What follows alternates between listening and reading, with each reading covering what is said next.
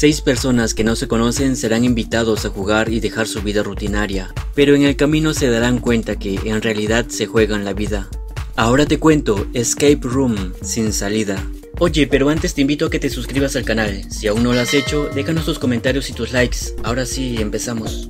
Un chico cae a una habitación. En la pared ve un tablero con 10 números. Tiene que encontrar un código de 4 dígitos y mover 4 números a los espacios en el centro. Al mover un número algo se activa. Las paredes se empiezan a juntar. Debe encontrar pistas en la habitación antes de que muera aplastado. Encuentra un libro y un acertijo y después encuentra el código en una pintura. Ahora debe colocarlo en el tablero. Aunque lo intenta no logra que se abra la puerta. Y luego vemos cómo las paredes ya lo están aplastando.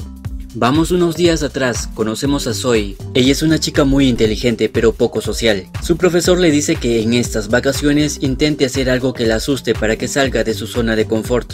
Ahora conocemos a Jason, es un exitoso hombre de negocios. Se dice a sí mismo que es como el maestro Miyagi pero de los negocios. Este chico es Ben, trabaja en un almacén de supermercado, quiere que le den una oportunidad como cajero para ganar más, pero se la niegan porque no es una persona de confiar. ¿Entiendes, verdad? Hmm, temo que no.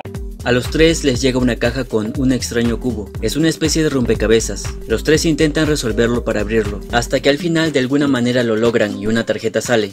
Es una invitación para participar en una habitación de escape. Son una serie de cuartos donde se deben resolver acertijos. El primero en escapar de todos se llevará 10 mil dólares. Más tarde, Ben está esperando afuera del edificio donde se realizará el juego. Una chica llega en su auto, también jugará. Su nombre es Amanda. Él se queda para terminar de fumar. Dentro, Amanda se identifica. Antes de entrar le piden que deje su teléfono. Cuando está por irse en el ascensor, un chico detiene las puertas. También es un participante. Su nombre es Danny. Él lleva un teléfono de repuesto. Llegan hasta una sala. Amanda toca la ventana para el registro y le dicen que espere un momento. Alguien llegará pronto. Algunas personas ya están esperando, como Zoe, Jason y Mike, que es un camionero. Luego llega Ben. Hablan sobre que los juegos de la habitación son divertidos. Al menos eso dice en la web. Me siento estafado. Danny lo afirma ya que ha estado en 93 habitaciones, así que básicamente es un experto. Dice que de esta nadie ha podido escapar. Si lo hacen, ganarán reconocimiento. Solo deben salir antes de que el tiempo acabe. Si no lo hacen, pues alguien abre la puerta y los hace quedar como tontos. Tiene que llegar el amo del juego para que dé inicio. Ben saldrá a fumar un poco mientras esperan. Cuando intenta abrir la puerta, la manija se sale y una cámara los vigila.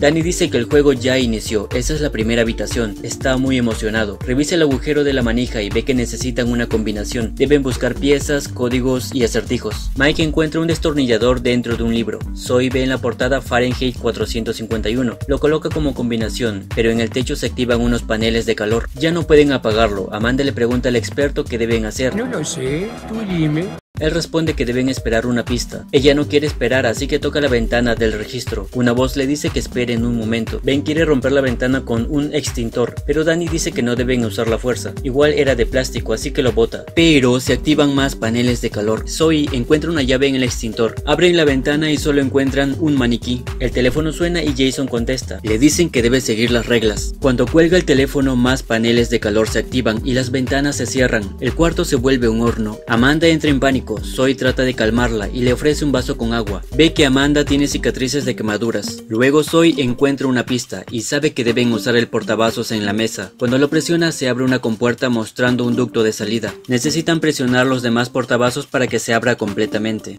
Jason va por el ducto para ver hasta dónde llega y encuentra una rejilla. La abre con el destornillador que le lleva Mike. Ahora Amanda es la siguiente en salir. Zoe tiene una idea. Ella llenará unos vasos con agua para colocarlos en los portavasos. De esa manera se mantienen presionados. Vaya, no encuentro fallas en su lógica. Amanda tiene un ataque, tiene recuerdos de un trauma, es veterana de guerra. Zoe va para ayudarla a continuar. Ben y Danny se quedan para llenar los vasos y colocarlos en la mesa. Pero falta agua para un vaso porque Amanda se lo bebió. Del techo empieza a salir fuego. Ben tiene una botella con licor. Con eso llena el vaso y logran pasar el ducto antes de que la habitación se llene de fuego. ¿Vieron eso? Eso es ser bárbaro. Danny dice que esto es muy realista, pero que todo está controlado y solo es para asustarlos. Ahora están en una cabaña que está cerrada por dentro con un candado. Amanda quiere que la saquen del juego. Le pide a Danny su teléfono para llamar a la policía, pero no hay señal. Para abrir el candado necesitan una palabra de 7 letras. Ben mira en la pared unos cuernos. En ellos hay letras, pero son 9. Entonces tiene un recuerdo. Él conduce y están cantando Rodolfo el Reno con sus amigos. Al parecer estaban ebrios y una luz muy intensa aparece delante. Luego le dice a los demás que la palabra es Rudolf. La colocan y logran abrir la puerta. Nadie le preguntó por qué, pero bueno, funcionó. Es hora del siguiente juego. Salen a un lugar muy frío. Unas cámaras siempre los están vigilando y la puerta se cierra. Al parecer están más tranquilos. Danny se toma selfies. ¿Pero qué coño está haciendo? Y avanza sobre el hielo hasta que choca con una pared. De pronto se abren ventilas que botan aire muy frío. Si no salen pronto morirán de hipotermia. Deben buscar pistas. Jason encuentra una puerta cerrada. Amanda y Danny encuentran un abrigo. Ella dice que solo hay uno porque quieren hacer que se peleen por él. Le dice a la cámara que eso no funcionará, se turnarán. Y la primera que lo tiene es Zoe. Ben intenta encender un cigarrillo mientras camina, pero el hielo se rompe. Al parecer, dentro del hoyo hay algo. Mike subió a un árbol y encontró una caña de pescar justo para el agujero. Tratan de sacar algo del fondo. Zoe encuentra una brújula en el bolsillo del abrigo, la guía hasta un magneto y luego lo coloca en el gancho de la caña. Luego le pasa el abrigo a Jason que se pelaba de frío. Del fondo Mike saca un cubo de hielo que contiene una llave. Jason le pide su encendedor a Ben para derretir el hielo. No lo lanza tan fuerte, así que Danny va a recogerlo, pero el hielo se rompió. Él cae y es jalado por la corriente, quedando atrapado bajo la capa de hielo. Aunque quieren ayudarlo, Danny muere. Lo único que queda es poner las manos sobre el hielo para derretirlo y sacar la llave. Mike abraza el hielo para que se descongele más rápido. Jason tiene un recuerdo, estaba en un lugar muy frío sobre una barca volteada. Estaba con un compañero que tenía un abrigo pero nada más. Mike se desmaya pero logran sacar la llave. Jason busca la puerta e intenta abrirla, pero es otra puerta la que se abre. Corren hacia ella mientras el hielo se va rompiendo por pequeñas explosiones. La siguiente es una sala de bar pero está al revés. De pronto la sala sube como un ascensor. Un teléfono cae del techo y se queda colgado. Jason se da cuenta de que la puerta no tiene manija y en la mesa de billar falta la bola 8, así que tienen que buscarla. El camionero casi se cae al vacío, pues una parte del piso se desprende. Todos corren para agarrarse de algo. Amanda corre para llegar al otro lado y buscar alguna pista. Encuentra una caja fuerte, pero necesita cuatro dígitos para abrirla. Zoe llega hasta un cuadro que es un rompecabezas e intenta resolverlo. Otra parte del piso se desprende y Jason estuvo a punto de caer. La chica genio completa el rompecabezas. Concluyen que es clave Morse y junto con las bolas de billar intentan sacar un código pero no funciona. Creo que no estás entendiendo el mensaje. Luego Zoe cae al piso. Ella tiene un recuerdo. Tuvo un accidente en donde su madre murió. Al recuperarse dice que están al revés y el código también lo está. Amanda lo ingresa y la caja se abre. Saca la bola 8 que en realidad es una perilla para la puerta. Ya casi no hay piso. Amanda se cuelga de la mesa de billar para llegar hasta la puerta, pero se le cae la bola al piso restante. Ella se suelta para lograr atraparla antes de que caiga al vacío. Siente que el piso se caerá, le tira la bola a Jason y ella se cuelga del teléfono, pero no por mucho tiempo, porque el cable se rompe. Jason abre la puerta para pasar al siguiente cuarto y Zoe queda impactada. En la nueva sala encuentran réplicas de sus habitaciones cuando estuvieron hospitalizados y cosas que tienen que ver con ellos. Encuentran información de Amanda. Había sido la única sobreviviente de una explosión cuando estaba en la guerra. Zoe también lo fue de un accidente aéreo. En un bote estaban Jason y su amigo, pero una ola los volteó. Se subieron a la barca volteada. Su amigo estaba muy agresivo por la hipotermia, a pesar de tener un abrigo, y se fue nadando. La guardia costera encontró a Jason solo. Ven cuenta que tuvo un auto, se divertía con sus amigos, los llevó a pasear estando ebrios, terminaron chocando y solo él sobrevivió. El expediente de Danny dice que toda su familia murió por intoxicación de monóxido de carbono, pero él no. Todos son sobrevivientes de terribles accidentes, y en este juego quieren probar quién de todos es el más afortunado, los habían elegido. Miran un video y al terminar tienen 5 minutos para descifrar cómo salir de ahí. Mike encuentra unas radiografías y se ponen a revisarlas. Ben las acomoda, dice que es lenguaje de señas, deben buscar una máquina de ECG, o sea, electrocardiograma. Zoe rompe las cámaras, dice que mientras los vigilan ellos no ganarán, quedan 3 minutos. Jason se da cuenta de que soltarán un gas venenoso al finalizar el tiempo. Encuentra la máquina, le pide a Ben que se mida el ritmo cardíaco, si es el correcto abrirá la puerta, pero falla. Ahora le toca a Mike medirse, deben medir un ritmo muy alto. Zoe no para de romper cosas. Jason le dice a Mike que deben pasarle un electroshock para que logren el ritmo adecuado y lo convence, pero sale mal y deja de respirar.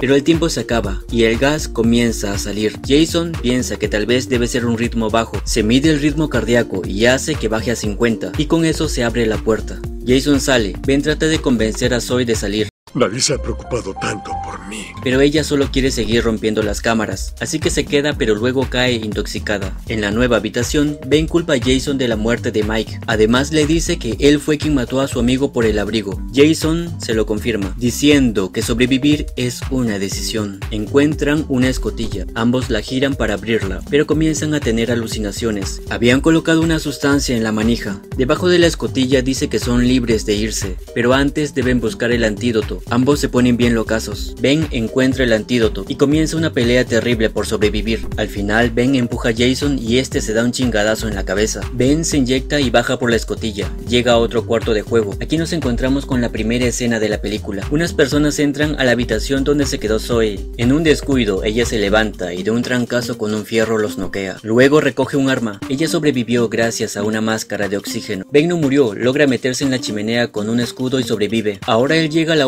sala. Desde ahí una persona monitoreaba todo. Aparece el amo del juego. Le dice que es el ganador este muchacho me llena de orgullo. Y lo invita a sentarse. Él trabaja para las personas más poderosas del mundo. Les proveen de buen espectáculo para su entretenimiento, como lo fueron los gladiadores hace mucho tiempo. A los poderosos les gusta ver cómo las personas luchan por su vida. El hombre le ofrece un cigarrillo, pero además le pasa un cable por el cuello. Intenta acabar con Ben. Zoe aparece detrás y le dispara, pero el barbón se escapa. Luego reaparece y taclea a Zoe. Estaba por dispararle, pero Ben le da un madrazo con un botellón. Luego le da el tiro de gracia para asegurarse. Ambos salen salen del edificio. Al día siguiente, Zoe acompaña a Ben que está hospitalizado. La policía llega para llevarla al edificio donde se hicieron los juegos. Están investigando el hecho. Pero cuando llega está vacío, parece abandonado hace mucho. Ella se sorprende e intenta explicarles que todo fue real. Incluso dice que Ben lo puede corroborar. La policía dice que encontraron sustancias ilegales en la sangre de Ben. Así que un gran F por ellos. Técnicamente no hay nada de malo, ¿no? Pero pues como que algo no cuadra, ¿no? Pero ella sabe que todo fue real. Pasan seis meses. Ben y Zoe se encuentran para tomar algo. Ella ha seguido investigando sobre lo que les pasó. Ben ya no quiere saber más sobre el tema. Ella dice que con el logo de la compañía descifró las coordenadas donde cree que se esconden los organizadores. Ya compró boletos de avión para ir a buscarlos. Le propone que la acompañe. No está muy animado pero acepta. Luego vemos un avión que está averiado en pleno vuelo. Dentro están participando de un juego. Tienen que abrir la cabina del piloto. De alguna manera lo logran. Ellos estaban inconscientes y el avión a punto de estrellarse. El impacto sucede, pero solo era un simulacro del juego. Lo sospeché desde un principio. Un trabajador se acerca a una pantalla, donde una voz le pregunta sobre la probabilidad de supervivencia. Ya tienen la información de vuelo de Ben y Zoe, volverán a jugar. Y aquí termina todo. Únete a nuestras redes sociales, te las dejo en la descripción. Si te ha gustado no olvides darle like, compartirlo y suscribirte al canal.